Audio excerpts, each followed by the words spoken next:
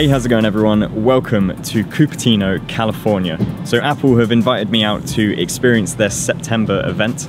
Uh, now this is traditionally their iPhone event and of course today was that. So they had the iPhone 11, the iPhone 11 Pro. There was also updates to the Apple Watch, the iPad 7th generation and a few announcements on their services. So I've been following the Apple keynotes and watching them almost religiously for the last 15 years or so. And this event today for me has literally been about about 10 years in the making. So dating back to 11 years ago when I first actually started working at Apple to eight years ago when I left Apple, I've slowly been sort of fine tuning the way to get myself here today. So I'm so excited to finally be here. And I went to the event this morning and then followed that with a hands-on experience of the new products that were launched today.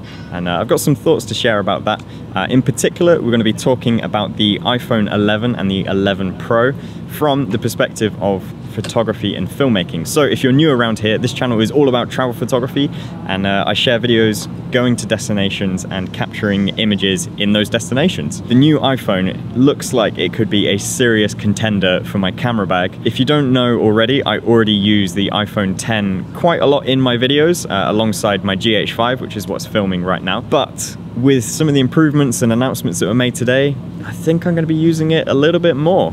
So uh, yeah, we're going to run through some of my hands-on first impressions and uh, I will of course be making some more detailed videos over the coming weeks with those new devices. I'm looking to get my hands on them for a little bit longer and um, I'll be posting those. So make sure you do subscribe to the channel and hit the bell notification to get updates of when those videos will be going live. So as with all smartphone comments and content and opinions, it should always be caveated that I am a firm believer that you should use the devices that match your expectations to the reality of the device. There's one thing in particular that always keeps me on iOS and that is the camera. But it's not just the photography camera, it's actually the video. It's video that really stands out to me and that's what always holds me. I don't think anyone actually does video anywhere near as good as Apple does and uh, this new update really is significant on the video front. So as I mentioned, this is a first look from today's announcements, and I'm not necessarily going to be nitpicking through all the spec sheets and stuff. There are plenty of other videos of people who do that, and Apple's own website itself. Before we get into any of the specs and features, let's talk about the design. So the iPhone 11 remains fairly unchanged from the 10 and the 10s, with some incremental differences. So one of the first differences you'll notice between the previous design and the new one is the finish on the back. We've now got a matte finish. I personally was never that much of a fan of a glossy phone and I actually opted for the dbrand matte black skin anyway. There's also been some incremental updates to the durability of the iPhone and even increase in resolution and screen quality on the 11 Pro with the Super Retina XDR display.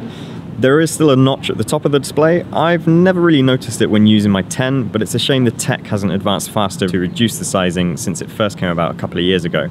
So on the back, there's a clear difference to the camera array on both the 11 and 11 Pro. With the 11, we've got two camera options, but no longer do we have a wide and tele, we've now got an ultra wide and a wide lens. Uh, that's in some ways different to what I expected. I personally love shooting with the tele lens on uh, my iPhone 10, but it is nice to have an ultra wide. On the 11 Pro, we've got an ultra wide, a wide, and a tele lens, so a total of three cameras to choose from.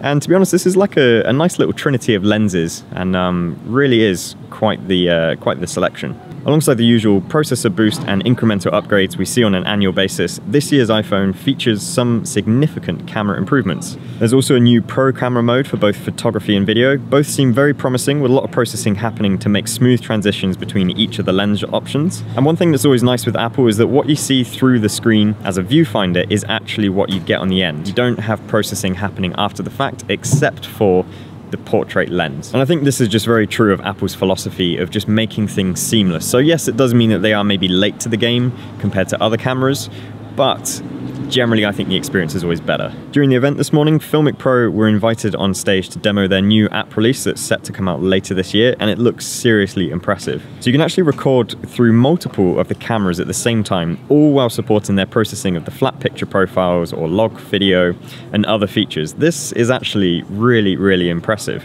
There's also been some cinematic stabilization improvements to the cameras uh, that looks to take advantage of the new processor inside. So you can start to see that the processor is actually really benefiting a lot with these cameras quite significantly. The front-facing camera also surprised me as they've now made it 4K 60p up from 1080 on the previous models essentially making this a great vlogging option alongside my existing setup. If I want to vlog or if I want to make something, I can film outwardly as well as internally, both in 4K. How insane is that? Sadly, with these pro modes, there's no raw photo option with the native camera. I actually can't understand why. It's available in third-party apps such as Lightroom for mobile, and other camera apps. The cameras can obviously do it, I just don't understand why Apple don't enable raw photo processing. A welcome change to the camera interface is the Instagram-like shutter button. So you can tap the shutter for photos as normal, you can hold it for video and slide to the right for a locked video mode, or you can slide to the left to do burst photos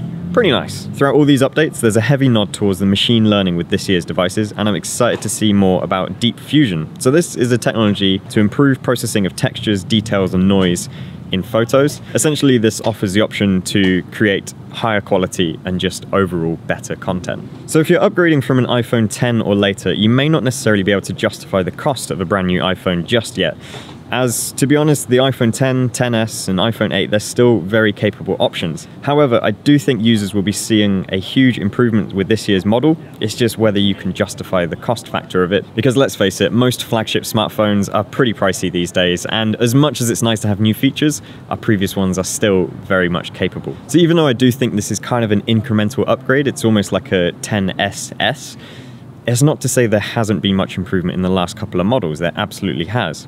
So I've been using the 10s Max over the last month, and I was actually shocked at how much better the camera tech was over my 10. It shows that Apple kind of did a bad job at truly shouting about the improvements they made with last year's release, and uh, I think this year they're kind of making up for it. So last year's stereo microphones and HDR video were the most notable differences for me, and this year's ultra-wide lens would likely be the top feature to shout about. So my overall thoughts on these iPhones from today's first impressions are generally quite positive. I'm a fan of the new color options, the matte finish, increased performance, more filming and photography capabilities such as night mode, as well as the drastically improved battery life, and also the pricing didn't creep up much further as it has in recent years.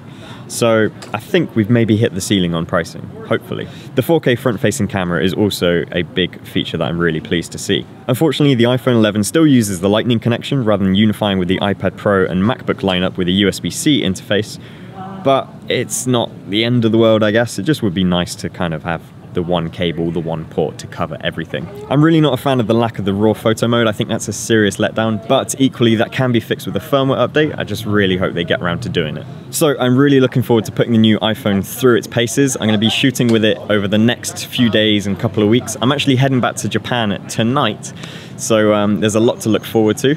So if you want to see those videos, make sure you do subscribe to the channel and hit that bell notification and you'll be able to get the email updates that YouTube will send out when I upload. It's just one way to make sure that you actually do see them when I publish them. So if you want to catch more of those videos, make sure you hit that bell.